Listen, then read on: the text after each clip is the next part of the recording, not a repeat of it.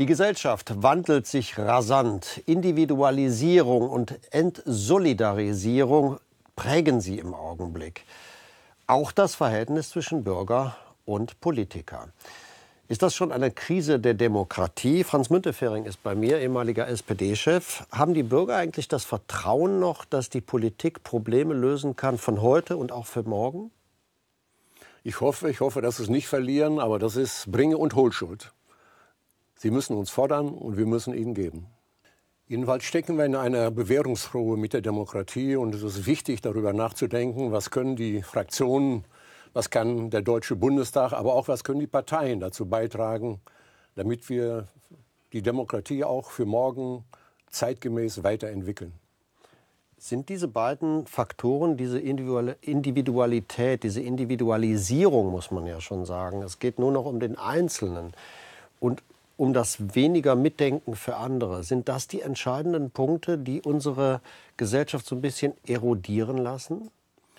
Na, ich glaube gar nicht, dass das so ist, dass die Menschen allzu egoistisch und eigensüchtig sind. Aber die großen Veränderungen, die wir haben, sind eben die Geschwindigkeiten in der Informations- und Kommunikationstechnologie.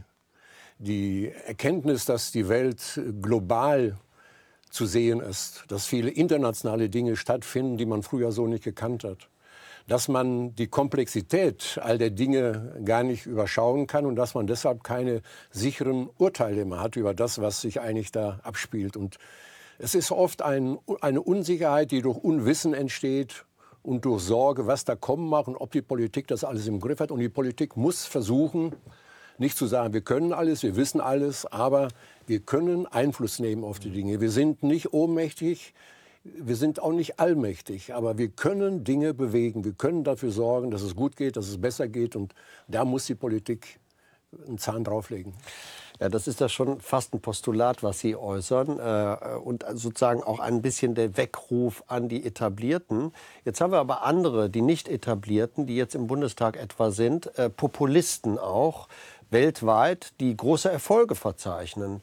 Ähm, fällt der Bürger dann plötzlich darauf rein, dass die sagen können, wie sie die Probleme lösen? Also richtig ist, diese herausfordernde Demokratie ist nicht nur bei uns so, sondern die ist in Europa weit und weltweit zu sehen. Und äh, das, was da stattfindet, ist natürlich keine erfreuliche Tatsache, dass die AfD im Deutschen Bundestag ist. Aber das ist für die auch die Stunde der Wahrheit. Und äh, für viele, die gestartet sind, war dann der Bundestag doch die Stunde, wo dann ihre Bonsai-Qualität deutlich geworden ist. Und das wird man sehen im Verlauf der nächsten Jahre. Wollen wir nicht über die AfD mal wieder äh, sprechen, sondern äh, über ja, die Gesellschaft sprechen und die Auswirkungen auf die Politik? Sie sind so viele Jahre Politiker gewesen. Sie haben so engen Kontakt auch immer zu den Bürgern äh, gehalten. Und das wollten Sie ja auch, weil das ja die Rückkopplung Ihrer Politik ist. Wie eng ist denn der heute eigentlich noch? Ganz grob gesprochen, wir sind auf dem Weg von einer Organisationsgesellschaft zu einer Netzwerkgesellschaft zu werden. Die Rolle, die die Parteien hatten aus der Geschichte des vergangenen Jahrhunderts her, Sie waren die, die die wichtigen politischen Informationen hatten. Sie waren die, die an den Themen arbeiteten. Das ist heute über die Gesellschaft breiter verstreut. Es gibt viel Individualwissen, aber wenig Wissen, das auch gebündelt ist und das auch konzeptionell ist, das auch die Zusammenhänge wirklich erkennbar macht. Und so entsteht da bei sehr vielen Informationen, die die Menschen bekommen, doch so eine Art Unwissenheit über Zusammenhänge und auch Sorge, Unsicherheit, ob man das Ganze denn überhaupt beherrschen kann. Und daraus entsteht ein Rückfall auf sich selbst. Lass uns das so machen, wie das gestern war unser Land und wir, wir sorgen für uns und die anderen müssen halt gucken, wie sie klarkommen. Das ist so ein Bild, was immer deutlich ist in vielen Gesprächen, die man erlebt. Und es gibt nur eine Antwort darauf, die Menschen müssen Bescheid wissen, was passiert da. Und sie müssen sehen, welche Handlungsmöglichkeiten es gibt. Und das ist eine große Aufgabe der politischen Parteien und äh, der Parlamente der Aber Demokratie. Warum machen denn offenbar die politischen Parteien so wenig Mut, diese Zukunftsfragen und auch die Fragen im Augenblick die ja so komplex geworden sind, wie Sie das sagen, zu lösen. Wir haben so zwei Schlagbegriffe, das ist Digitalisierung, Globalisierung. Ähm, das sind Schlagbegriffe, weil man damit eigentlich die Diskussion schon totschlagen kann. Aber im Grunde ist das ja genau die Diskussion. Die Diskussion darüber, was macht der Einzelne diesen beiden Phänomenen gegenüber. Der eine hat bei der Digitalisierung Angst, dass er seinen Arbeitsplatz verliert. Die anderen sagen, ich kapiere das gar nicht mehr, was da in der Welt passiert. Und die Politiker sagen, ja, wir wissen es auch nicht genau. Hm. Man darf auch nicht so tun, als ob man alles wüsste, wie das in 100 Jahren oder auch nur in 20 Jahren sein wird. Aber das, was wir wissen, muss offen angesprochen werden, muss diskutiert werden. Demokratie kann nur funktionieren, wenn sie die Aufklärung als ihre Verbündete erkennt. Die Menschen müssen eine Vorstellung davon haben, wo die Probleme sind und was Politik versucht, um den Aufgaben gerecht zu werden. Und wir machen in den Demokratien, so wie es sie gibt, nicht nur in Deutschland, wir machen zu viel Politik bei, denen wir, bei der wir versuchen, die Bürger ruhig zu halten und sie nicht aufzuregen. Das ist vielleicht auch ganz gut gemeint, aber das funktioniert nicht. Die Menschen müssen Bescheid wissen. Das ist die Voraussetzung dafür, dass Demokratie gelingen kann. Und daran müssen wir arbeiten. Und deshalb muss eine stärkere politische Debatte im Parlament und in den politischen Parteien auch wieder stattfinden. Aber wenn, wenn die Menschen eigentlich wissen wollen, wie man die Probleme lösen könnte, äh, wenn man darüber debattieren muss, dann muss man diese Probleme ja auch in der Gesamtheit verstehen können. Viele sagen ja, da habe ich ja gar keinen Einfluss mehr. Äh, Globalisierung. Da hat zum Beispiel der Einzelhändler in einer Stadt, der von einem großen amerikanischen Konzern quasi niedergedrückt wird, weil die die günstigeren Preise haben online, der hat ja gar keine Chance mehr, gegen diesen Konzern anzugehen. Da ist ja so ein Gefühl der Kapitulation bei vielen. Und nicht nur bei den einfachen Menschen, sondern auch bei denen, die sagen, wir sind zwar gut ausgebildet, aber ich weiß trotzdem nicht mehr, was ich da machen soll. Es gibt aber auch viele Vorteile und viele Gewinner dabei in unserer Gesellschaft. Insgesamt ist unser Land ganz sicher ein Gewinner der Internationalisierung und der Globalisierung. Uh, unser Wohlstand, der beruht nicht allein auf dem, was wir in unserem Land tun und umsetzen, sondern der beruht zur Hälfte oder wie viel auch immer auf dem, was Europa bedeutet und die Welt insgesamt. Das heißt, diese Verknüpfung ist eine Schwierigkeit, aber auch da muss man ehrlich sein. Oberhalb der Nationalgrenzen gibt es nur sehr begrenzt politische Möglichkeiten des Handels. Die UNO, all die Institutionen, die es da gibt, die gibt es, aber sie haben nicht die Macht wie ein Nationalstaat.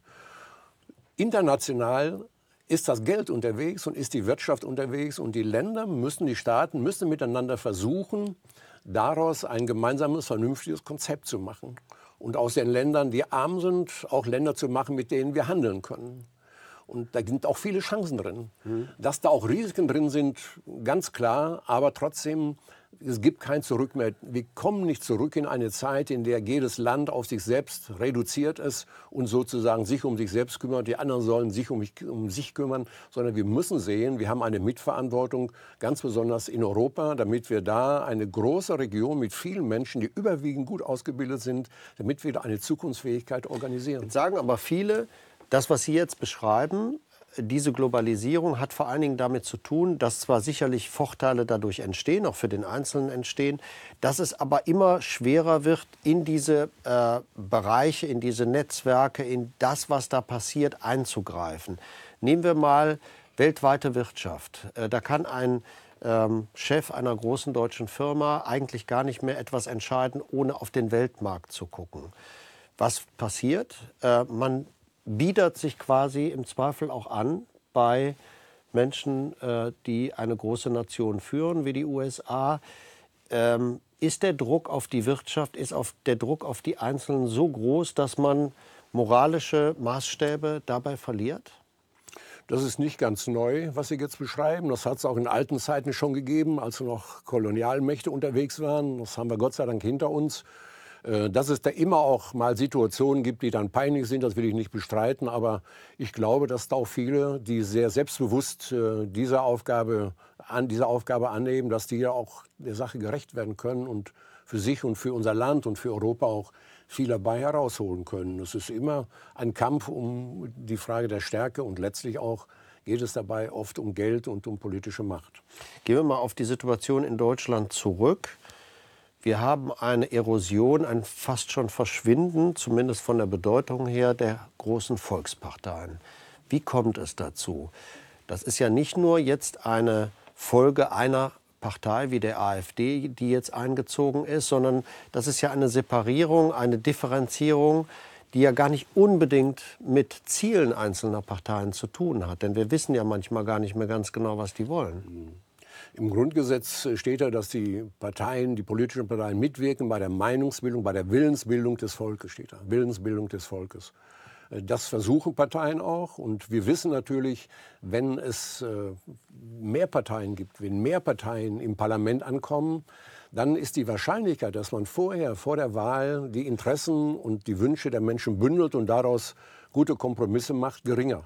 Und die Situation haben wir dass es nicht mehr einige wenige Parteien gibt, auf die sich das alles konzentriert, sondern dass da eine Vielfalt da ist. In den 60er Jahren hat es dafür schon mal äh, eine große äh, Sensibilität gegeben. Die Koalition 66, 69 hatte die Idee einer Wahlrechtsreform, ähnlich so wie in Großbritannien oder USA. Das ist dann nicht dazu gekommen, das ist auch gut so. Jedenfalls hat man da schon gewusst, das geht ein Weg, der führt dazu, dass die Großen nicht immer die Großen bleiben müssen, sondern dass sie auch teilen müssen. Und was wir jetzt haben, ist, dass wir fünf, sechs ähm, Fraktionen im Deutschen Bundestag haben und dass damit auch die Bildung von Regierung und Zusammenarbeit ein bisschen, ein bisschen komplizierter wird. Das muss für die Demokratie nicht schlecht sein, aber die Parteien müssen halt wissen, die Volksparteien, wir bleiben nur Volkspartei, wenn wir uns verantwortlich fühlen fürs Ganze. Das macht die Volkspartei aus. Und das ist nicht nur CDU, CSU und SPD, sondern ich würde die äh, Bündnis 90 Grünen und die FDP doch dazu zählen. Und ich hoffe, die äh, Linke schafft das auch irgendwann noch, Volkspartei zu sein, nämlich das, das, den Blick zu haben fürs Ganze und auch die Verantwortung. Nicht zu sagen, wir sind für eine Klasse oder für eine Gruppe, sondern wir sind für alle da. Wir wollen soziale Gerechtigkeit, aber auch auf gutem Niveau. Und dazu brauchen wir auch ökologische und ökonomische äh, Bedingungen. Was passiert denn da eigentlich bei der SPD? Die rutscht unter 20 Prozent und im Zweifelsfall in einzelnen Ländern noch darunter. Ähm, Sie sind 1966 in die SPD eingetreten. Ähm, das ist eine Erosion innerhalb dieser Partei, die man sich gar nicht vorstellen konnte.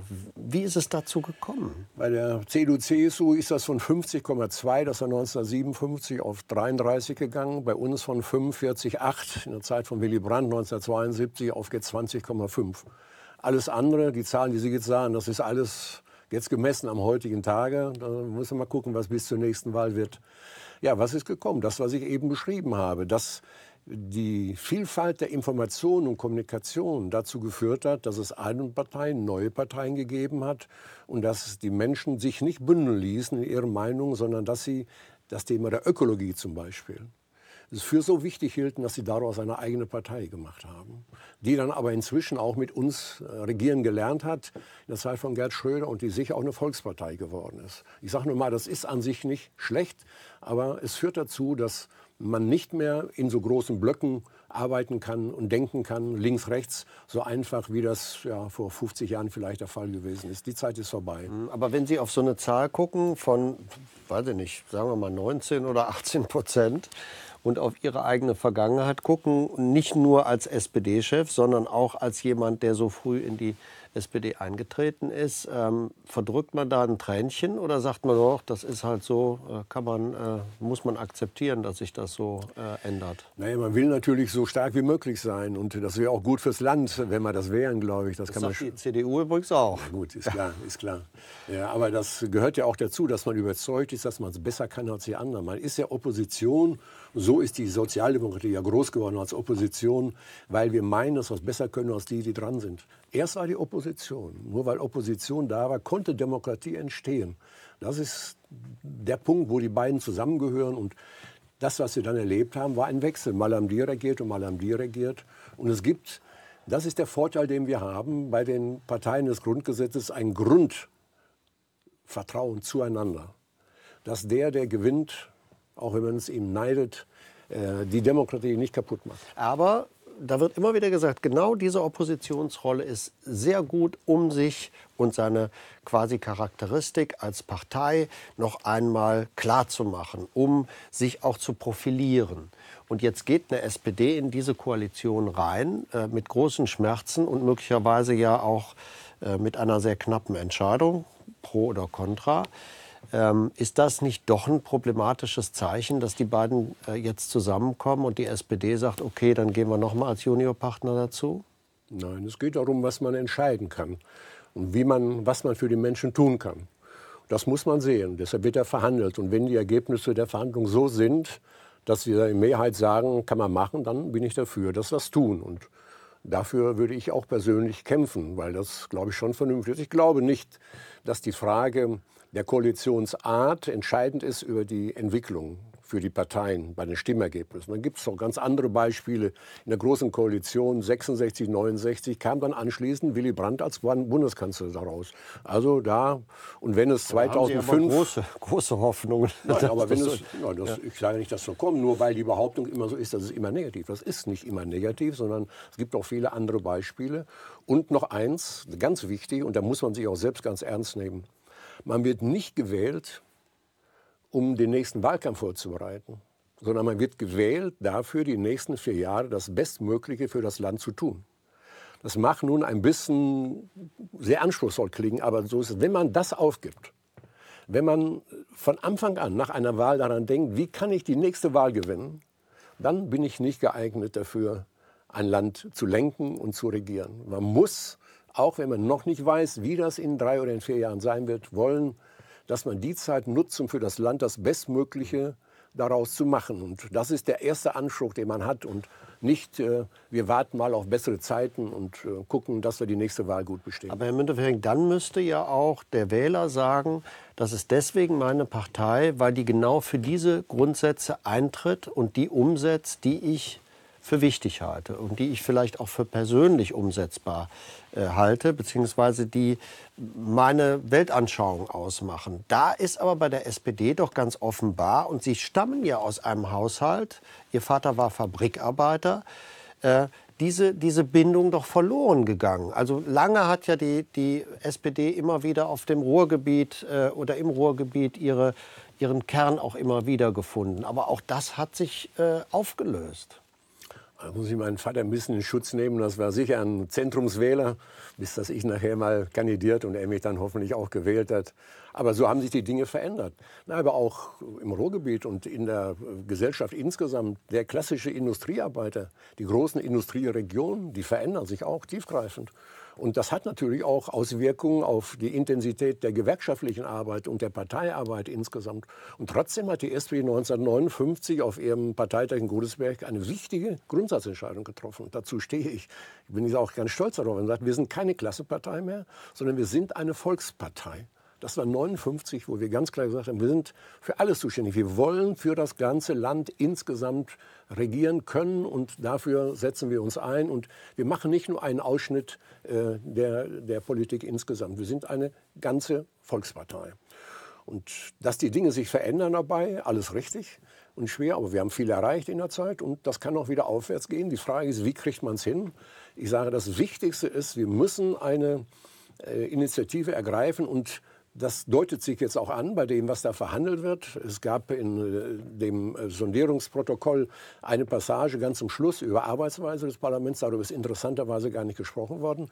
Da steht der interessante Satz, der Bundestag, das Parlament muss die Stelle sein, an der in entscheidender Weise die gesellschaftspolitische und politische Debatte im Lande geführt wird. Das ist meine Hoffnung, dass man die Debatte da führt. Und zwar nicht nur über Gesetze in ihrer Raffinesse der einzelnen Artikel, sondern die großen Probleme, die die Menschen interessieren. Wie können wir als Demokratie, wie können wir als Deutschland, wie können wir als Europa eigentlich in dieser Situation bestehen? Wie kann ich als junger Mensch einen Arbeitsplatz finden? Was ist mein Job? Was ist im Alter? Das muss diskutiert werden und zwar so, dass die Menschen verstehen können, in welchen Zusammenhängen wir uns eigentlich bewegen. Da wächst auch Vertrauen. Transparenz bringt Vertrauen.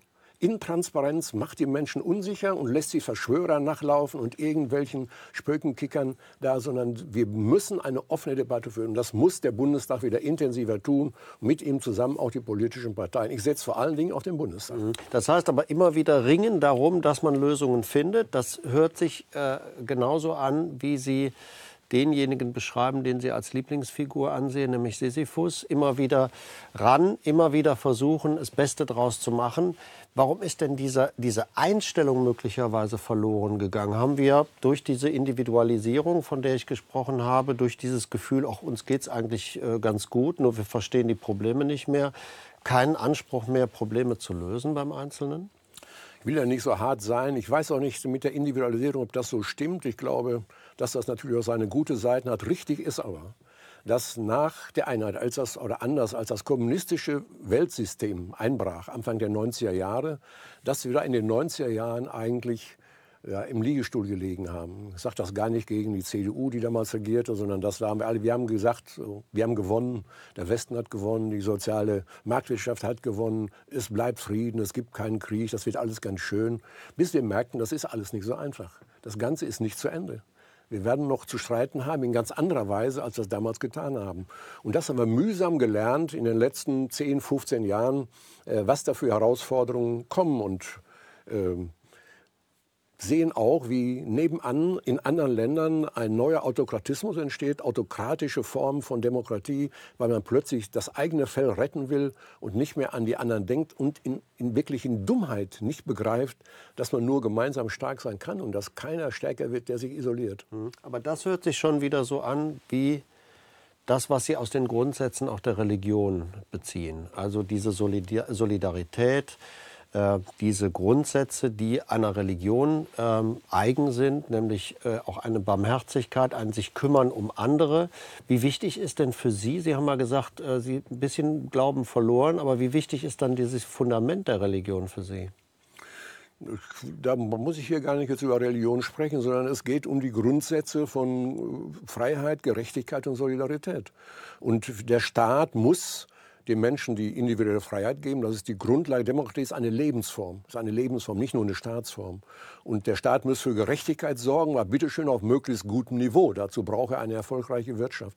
Die Solidarität aber, die dritte große Tugend, die kann der Staat nicht erzwingen. Das ist die Frage, wie die Menschen miteinander umgehen. Ob wir uns umeinander kümmern, ob wir einsehen, dass wir unterschiedlich stark sind und dass wir trotzdem alle menschliche Rechte haben, ob wir uns besonders um die kümmern, die im Moment besonders schlecht dran sind und da habe ich eben in meinem Leben, ich habe das Kriegsende erlebt, alles, was danach kam, na, da war es schwerer als heute. Und äh, äh, da hat man erlebt, wie man sich helfen musste. Wir hatten sechs Quadratmeter Wohnfläche. Das war die Zeit 45 folgende. Und dies ist auch heute im Land unglaublich viel an Hilfsbereitschaft da. Wir haben 22 Millionen ähm, Ehrenämtler Ehrenamtler tätig, zivilgesellschaftlich engagierte Männer und Frauen unterschiedlichen Alters, die auf die eine oder andere Weise sich für andere engagieren. Das ist schon eine tolle Sache. Also ich finde, die Gesellschaft ist schon stark, nicht schwach. Und wir müssen dies auch von der Politik wieder stärker aufnehmen und die Debatte führen mit den Menschen. Die müssen Bescheid wissen können. Das war, als die SPD anfing vor 150 Jahren, ihr entscheidender Punkt. Die haben gesagt, da war die Hälfte damals noch Analphabeten. 1850. Äh, dann haben die Arbeiterbildungsvereinigungen gesagt, wir sollen euch mal sagen, wie das ist, damit ihr versteht, was da ist. Und dann muss man Konsequenzen daraus ziehen. Und dann kamen viele, die sagten, eigentlich ist das auch heute wieder so. Wir, unser Mangel ist das Minus an politischer Bildung, an Nichtwissen über die Zusammenhänge, in denen wir sind, in Deutschland, in der Welt insgesamt und was man eigentlich tun kann, um trotzdem da menschlich und vernünftig und demokratisch rauszukommen. Und das ist die Aufgabe, in der wir sind. Und da muss die Politik den Mut haben, über den Tellerrand der Legislatur hinaus zu gucken und Debatten zu führen, die mit Nachhaltigkeit was zu tun haben, die auf 10, 20, 30 Jahre angelegt sind. Sind wir gerecht zu denen, die sich mit Dingen beschäftigen, für die sie sich auch persönlich einsetzen, wie Rente, Pflege? Sind wir gerecht mit denen, die doch zum Beispiel arbeiten? Na gut, da habe ich ja mit, mit Freude gelesen, dass in den Koalitionsverhandlungen in den Akuten es offensichtlich Einvernehmen gibt. Äh, wir müssen da etwas tun. Wir müssen vor allen Dingen dafür sorgen, dass die Tätigkeit, die Pflegefachkraft, Männer und Frauen, meistens Frauen, äh, dass die ordentlich bezahlt werden, zum Beispiel, dass sie ordentlich entlohnt werden. Das, ist, das geschieht aber nicht. Ja, aber das haben die jetzt gerade beschlossen, wir wollen da jetzt dran. Und das muss auch, das ist auch ganz nötig. Menschen pflegen, Menschen helfen, wenn sie hier auf Hilfe angewiesen sind. Das ist mindestens so wertvoll wie, wie Schrauben in Autos drehen. Das tut mir leid. Und der wirkt noch ein anderes Problem da rein. Wenn so viele Männer im Pflegefachbereich tätig wären wie Frauen, wären die Löhne längst höher. Wir hätten das gemacht. Das ist eine Benachteiligung der Frauen, da bei den Kitas und bei den Grundschulen in gleicher Weise. Also was die da aushäkeln im Moment, da sind ein paar interessante Sachen drin, gute Schritte. Das ist noch nicht alles, was man braucht, aber gute Schritte und ich hoffe, dass man das bald realisieren kann. Aber wirtschaftlich ging es uns noch nie so gut wie jetzt und trotzdem vernachlässigen wir genau diese Bereiche, in denen es um Solidarität, um Gerechtigkeit, um Mitmenschlichkeit geht. Wie kommt ja, das? Auch weil das ein bisschen statisch gedacht ist, wenn man sagt, es geht uns allen gut. Erstens, es ist sehr unterschiedlich und zweitens, die Dinge verändern sich. Das Ganze hat natürlich zu tun damit, dass in der demografischen Entwicklung viel mehr Menschen alt werden, die Lebenserwartung steigt, dass auch viele in das Alter kommen und dass die Zahl der Pflegebedürftigen natürlich drastisch steigt und dass unten die Jahrgänge, die nachkommen, deutlich geringer sind. Wir hatten uns haben Sie denn selber persönlich das erst so begriffen in einem gewissen Alter? Oder wenn Sie konfrontiert waren mit so etwas? Na, jedenfalls sind wir ja auch schon 20 Jahre und länger dabei, äh, das zu organisieren. Wir haben 1995 die Pflegeversicherung eingeführt. Das gab es vorher gar nicht. Da war das das Risiko jedes Einzelnen. Blüm war Bundesminister, ich war das in Nordrhein-Westfalen, haben wir die Pflegeversicherung begonnen. Wir haben sie inzwischen verbessert, wir haben sie verstärkt. Und jetzt setzen die einen drauf und sagen, wir müssen da noch mehr tun dafür. Das ist auch ganz wichtig. Vor allen Dingen müssen wir den Familien helfen, die zu Hause pflegen. Ich kann mir schon vorstellen, dass man da letztlich so etwas macht wie bei Kindererziehungszeiten, auch Pflegehilfezeiten zu Hause anrechnet, damit einer, der das macht, dann auch wirklich da etwas für bekommt, was sich auch niederschlägt in seiner Rente. Dann sind das sehr oft die Frauen, die davon betroffen sind. Ne? Äh, wenn Sie selber Ihre Grundsätze, die Sie viele Jahrzehnte verfolgt haben, mal reflektieren, sind das eher Grundsätze einer Religion oder sind es eher Grundsätze, die Sie sozusagen selber aus Ihrem Erleben gebildet haben? Sie sind ja jemand, der Camus und Sartre gelesen hat, wie ich äh, festgestellt habe, also eher dem Existenzialismus nahe sind. Ist das so? Ja, das ist so. Das hat mich geprägt. Äh, man, es hat vielleicht jeder Mensch ähm, einige wenige, die einem besonders viel wert sind. Und das ist Camus ganz vorne an bei mir dabei. Aber es ist das Erleben im Leben selbst, was mich geprägt hat. Ich glaube, dass man schon geprägt ist als Kind, als Jugendlicher von dem, was man selbst erlebt hat mit seinen Eltern und da bin ich denen ewig dankbar für, meiner Mutter ganz besonders. Aber dann muss man sein eigenes Leben leben und ich habe irgendwann erkannt, dass man nicht nur einen guten Willen haben muss, sondern dass man etwas tun muss. Also passiert nichts Gutes, außer man tut es. Kästner, richtig, in Reinkultur, ganz simpel ist das. Wir werden nicht gerechtfertigt sein durch unsere Träume, durch unsere großen Ziele, sondern wir werden letztlich gerechtfertigt sein durch die Schritte, die wir gegangen sind. Und das muss man immer denken, auch in einer Politik wie jetzt. Es kommt nicht darauf an, was ich mir vorstelle, was im Jahr 2050 auf der Welt schön sein soll, sondern wie ich in den drei, vier Jahren, in denen ich jetzt mitregieren kann, in Deutschland sagen kann, das mache ich, das mache ich. Und da darf man nicht übermütig sein, da sieht man auch seine Grenzen, man macht auch Fehler dabei, aber insgesamt ist die Bereitschaft, sich zu engagieren, die Zuversicht in die Gestaltbarkeit der Dinge, das ist der entscheidende Punkt, die Zuversicht in die Gestaltbarkeit der Dinge. Da hat auch der Marx sich geirrt. Viele große Philosophen haben gemacht, das ist, das ist eine Naturgesetzlichkeit, wie die Dinge sich entwickeln werden. Das ist nicht so. Immer gilt, wenn, dann. Das gilt auch für unser Land. Wenn wir nichts machen, dann ist es nicht gut, dann wird es schlechter. Aber wenn wir was tun, zum Beispiel bei der Pflege oder bei anderen Bereichen, dann wird es auch besser. Wir haben eine Chance. Aber ist das eine Einstellung, die aus dem Elternhaus kommt oder aus dem persönlichen Erleben Ihres Lebenswegs? Weiß ich gar nicht, kann ich gar nicht so genau abmessen. Das weiß ich nicht. Sind so Dinge wie Gerechtigkeit, Solidarität Dinge, die Sie aus dem Elternhaus mitgenommen haben? Solidarität ganz sicher, ja. ja. Meine Mutter war äh, eine gute Katholikin im Gegensatz zu da mir. Da kommt das her, so mit der Religion. Also, die sagte, Glaube, Hoffnung, Liebe, diese drei im größten, ja. aber ist die Liebe. Das kennen Sie. Und das ist ein Spruch unabhängig, ob man jetzt glaubt oder nicht, äh, der, der ewig richtig bleibt. Aber man kann das auch äh, bei Camus nachlesen, wo er sagt, so meine Rechtfertigung ist, oder Nichtrechtfertigung entsteht da, wo ich mich nicht eingesetzt habe für den anderen, wo ich mich nicht gekümmert habe. Das ist ein Buch über die Pest und solche Dinge bezeigen, bezeugen alle diese Herangehensweise, sich um den anderen kümmern können und kümmern müssen. Also die Solidarität haben aber auch Menschen, die äh, an nichts glauben. Das, das ist nicht der entscheidende Punkt, sondern das ist etwas, was einem ja, äh, zuwächst oder für das man selbst auch arbeiten muss. Hans Müntefering, ganz herzlichen Dank für das Gespräch. Ich bedanke mich auch.